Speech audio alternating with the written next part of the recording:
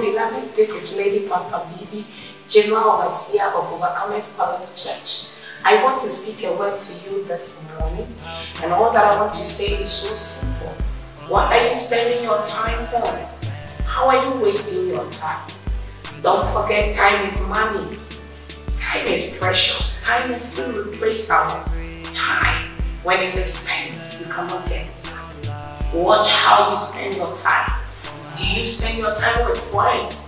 How do you spend? Friends who will not bring any inputs in your life? Or how do you spend it? Do you spend it on luxurious things that will not profit your future? How do you spend your time? This year, I want to get your mind on time.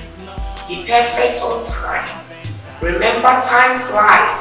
So I want you to also fly with the time so that you can catch your future and your destiny with so many supernatural testimonies. God richly bless you. Stay tuned.